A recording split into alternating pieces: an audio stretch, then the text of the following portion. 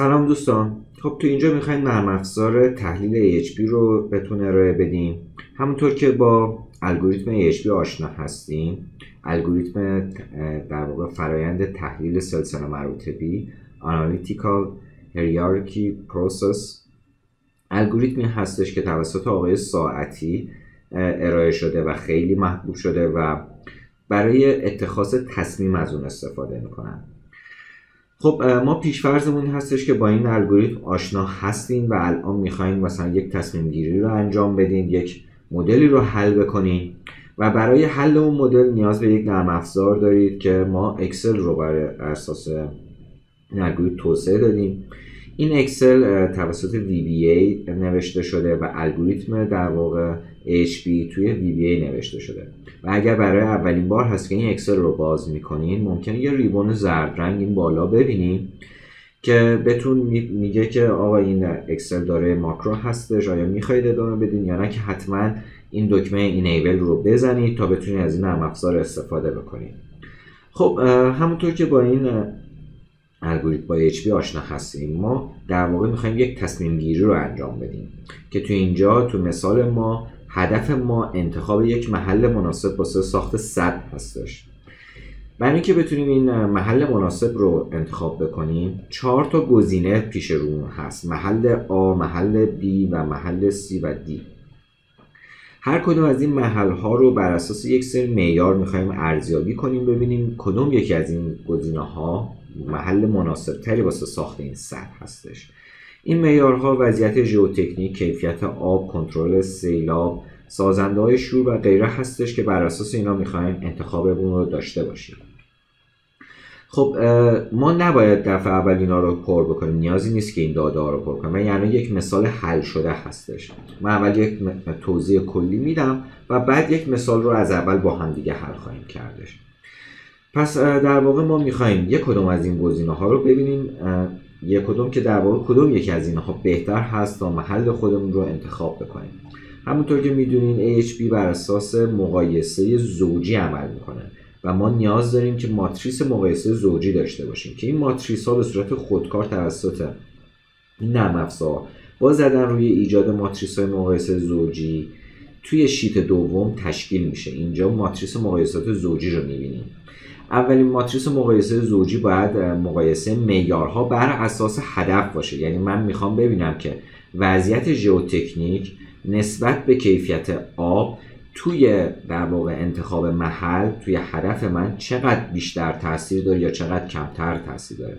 در واقع من اومدم اینجا گفتم وضعیت ژئوتکنیک نسبت به کیفیت آب دارای امتیاز دو هستش.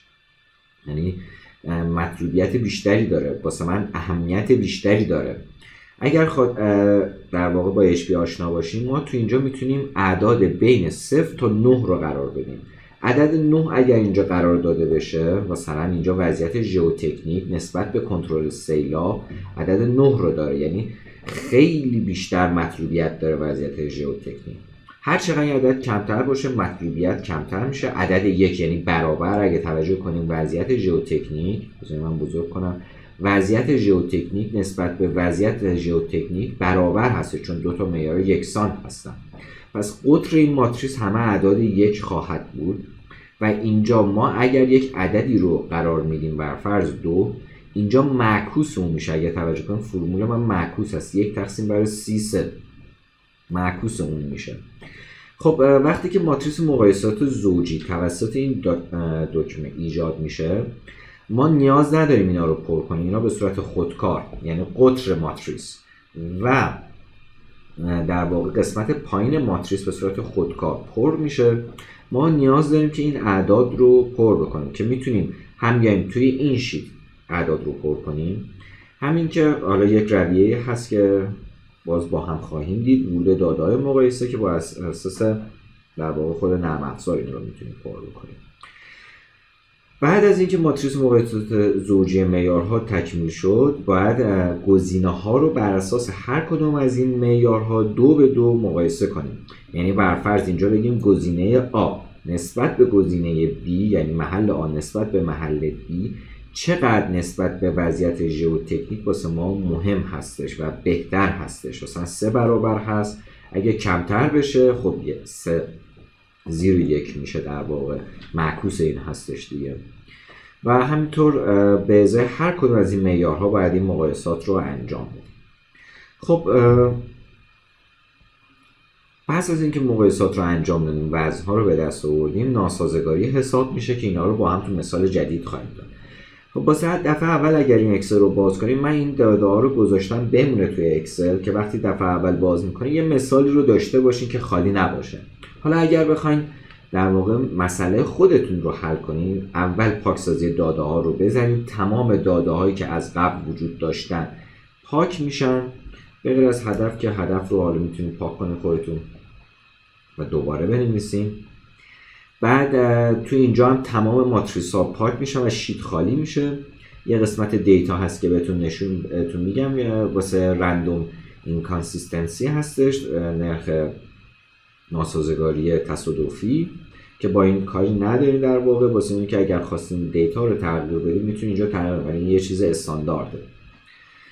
خب فرض کنیم واسه دفعه اول می‌خوایم. انتخاب به طور مثال هدف ما انتخاب شغل هستش. یه مثال جدید می‌زنیم فرض کنیم توی سازمان A, B و C می‌خوایم یه شغل جدید رو اینا به ما پیشنهاد دادن. می‌خوایم انتخاب کنیم که شغل A رو انتخاب کنیم B یا C رو. معیارهای مختلفی داریم. بر فرض C یک معیار درآمد باشه معیار مثلا محل ساختمون باشه اعتبار اون باشه و غیره. حالا این ستا رو در نظر می‌گیریم. فقط کافیه اینها رو پر کنیم. یعنی گزینه ها و معیارها. بعد از اینکه این کار رو انجام دادی ایجاد ماتریس های مقایسه زوجی رو باید بزنید که ماتریس های زوجی اینجا تشکیل میشه واسه شما و قرار داده میشه. حالا از شما می‌پرسه که آیا می‌خواهید ماتریس رو الان پر کنید؟ اگر بخواید ماتریس رو پر کنید می‌بینید نید دیتا اینجا وجود داره. باید این داده هایی که نید هستش نیاز هست رو تکمیل کنید. بقیه یک به صورت خودکار اینا هم که فرمول خودش تغییر می‌کنه. اگه نو رو بزنین همین ماتریس میمونه و شما بعدا می‌تونید بیاین اینا رو تکمیل کنین. اگر یس رو بزنین اینجا به صورت خودکار بهتون میگه که خب اولین داده رو با ما بذار. مقایسه زوجی انجام بده سی یک رو معیار سی یک رو با سی دو بر اساس هدف مقایسه کن. در واقع اینجا همین که سلک شده هست. سی یک نسبت به سی دو بر اساس معیار هدف. فرض کنیم مثلا این دو عدد دو معیار در واقع به دو تا مطلوبیت داره. سی یک نسبت به سی دو. OK اگر بکنم این عدد قرار داده میشه اینجا و توی C سه ببخشید توی C دو معکوسش رو ما اینجا می‌تونیم ببینیم. فرض کنیم C یک نسبت به C سه هفت تا نسبت به گل مطلوبیت داره و من عدد هفت رو می‌ذارم اینجا و اینجا معکوسش دوباره محاسبه میشه. و اگر اینجا یک باشه C دو و C سه یک رو می‌تونم قرار بدم که مثلا مطلوبیت یکسانی دارم. همینطور میره پایین و شما باید این اعداد رو حالا من رندوم یه سری عدد پر می‌کنم. فرض کنیم وسطش نمی‌خواین این رو انجام بدین. کنسل رو اگر بزنید همینجا متوقف میشه. همینجا که متوقف شد یا شما باید خودتون بیاین اینجا اعداد رو وارد کنیم مثلا اینجا من عدد دو رو می‌زنم اینجا معکوسش میاد و عدد سه رو می‌زنم. و اینجا خودکار حساب میشه. می‌تونین همینجا بدونی که استفاده از در واقع نرم افزار کنین اعداد رو وارد کنین. اینجا باید توجه داشته باشین که خالی نمی‌تونیم اگر دلیت رو بزنین خالی میشه. ولی اگر وارد بشین و بعد دلیت رو بزنین ارور می‌گیره از شما و میگه حتما باید عدد باشه. و فرض اگر من یک حرف رو وارد بکنم اینجا هم خطا می‌گیره و میگه آقا باید عدد بزنی حتما. اگر بخوام مثلا عدد دوازده رو بذارم با توجه به الگوریتم AHP ما باید حتما بین صفر و 9 رو بذاریم. خود صفر رو هم نباید بذاریم چون صفر وجود نداره و حتما یه مقدار بین بزرگتر از صفر باشه ولی 9 رو می‌تونیم بزنیم. خب فرض کنیم مثلا من همینجا متوقف شدم بعد از چند روز خواستم بیام و دوباره داده ها رو تکمیل کنم. می‌تونم ورود داده های مقایسه رو بزنم دوباره وارد این ویزارد مانند میشه. وارد این انجام میشه و آخرین مورد رو سلکت می‌کنه و میگه شما باید از اینجا دیتا رو دوباره وارد کنید که می‌تونید دیتا رو وارد کنین به راحتی اینجا. اینجا هم نمی‌تونین متن بزنین توجه بکنید که این ولید میده عدد کوچکتر از بزرگتر از 9 یا کوچکتر از صفر رو هم نمی‌تونیم یا خود صفر رو هم نمی‌تونیم بزنیم ارور میده حتما باید بزرگتر از صفر و کوچکتر مساوی 9 باشه که بتونه قبول کنه اینجا. به خاطر اینکه الگوریتم این رو میگه که حتما باید HP به این صورت باشه. خب من اعداد رو وارد می‌کنم. یه چیز نکته دیگه هم که توجه کنید تقسیم اینجا نمی‌تونیم بزنیم مثلا یک دوم. اگه خواستین عدد مثلا یک دوم رو بزنیم باید حتما به صورت نیم بزنیم اینجا. و نیم رو ارائه بدین اینجا و اینجا خود دو رو محاسبه کنیم. خب وقتی که اعداد وارد شد شما می‌تونین تحلیل رو شروع کنید یه چیزی رو توجه کنین. اگر ایجاد ماتریس های مقایسه زوجی رو دفعه اول دوباره بزنین دوباره باید دیتا ها رو وارد بکنین. این رو حواستون باشه. و بعد اینجا فرض کنیم من می‌ذارم مثلا اینا رو حالا رندوم می‌خوام یه سری عدد پر کنم. این اعداد ناسازگار هستن چون دارم همینطوری عدد می‌زنم وقتی که تموم شد اینجا دوباره از شما می‌پرسه. در صورتی که اگه وسطش متوقف نکرده باشی می‌پرسه که تموم شد حالا می‌خوای آنالیز رو انجام بدی یا نه. اگه نو بزنین هیچ آنالیزی انجام نمیشه. اگر یس بزنید خودکار تحلیل انجام میشه و برای شما مقدار امتیاز مثلا اینجا گزینه آ 47 صدم به دست اومده. این 39 صدم و 13 صدم. اینجا سورت نیست. حالا اینجا به صورت تصادفی A بهترین گزینه شده که انتخاب بکنید و بعد از A, B و C.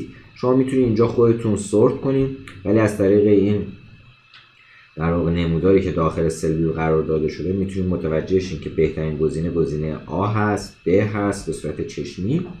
و نرخ ناسازگاری هم اینجا محاسبه شده به ازای هر معیار و وزن و همچنین به ازای هدف. اگر توجه کنید هدف حد آستانه یک دهم هست چیزی هست که ساعتی پیشنهاد داده گفته اگر ناسازگاری شما یک دهم بیشتر بود باید توی تصمیماتتون تجدید نظر کنید موقعی که دارین ماتریس های زوجی رو عدد وارد می‌کنید اگه نرخ ناسازگاری واسه هدف الان کمتر از 900 هست نرخ ناسازگاری کل هم کمتر از یک دهم هست این دوتا OK هم خب علامت تعجب اگر مثلا کمتر از 800 باشه خوب هستش. ولی اینجا نسبتا قابل قبوله. خوبه چیز بدی نیستش. اینطوری میشه بود ولی واسه معیارها اگر توجه کنید C یک کمتر از یک دهم هست. نرخ ناسازگاریش OK اما این دوتا بیشتر از یک دهم هستن این 14 صدم هست و اینم 11 صدم هست که کلا قرمز کرده. واسه C دو و C سه من باید تجدید نظر کنم. توی ماتریس در واقع مقایسه زوجی گزینه ها نسبت به معیار C دو و ماتریس مقایسه زوجی زوجی گزینه ها نسبت به معیار C سه من باید تجدید نظر کنم. پس باید بیام توی pairwise comparison اینجا اگر من دوباره ورود داده‌های مقایسه رو بزنم چیزی نمیاره واسه من. فقط میره توی این شیت.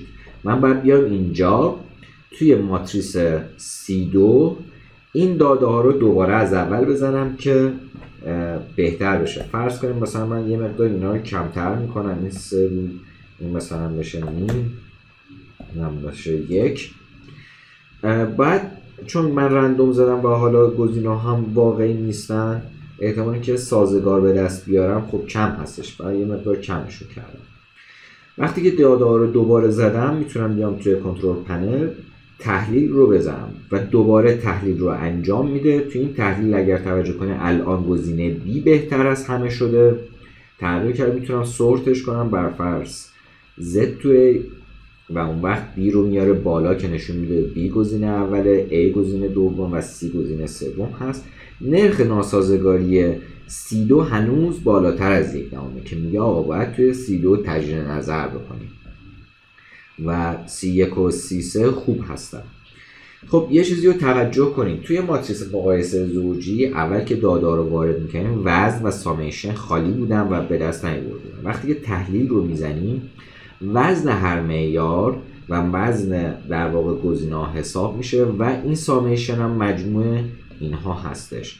مجموع اینا واسه این محاسبه میشه چون من وزن رو می‌خوام محاسبه کنم از روش میانگین حسابی دارم میرم جلو.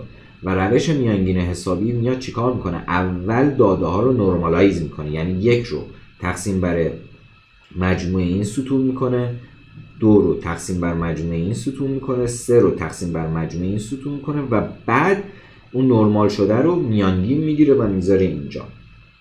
واسه هر کدوم از اینها به همین شیوه میره جلو. پس این در واقع وضع از طریق روش میانگین حسابی هست که محاسبه میشه و اینجا قرار داده میشه.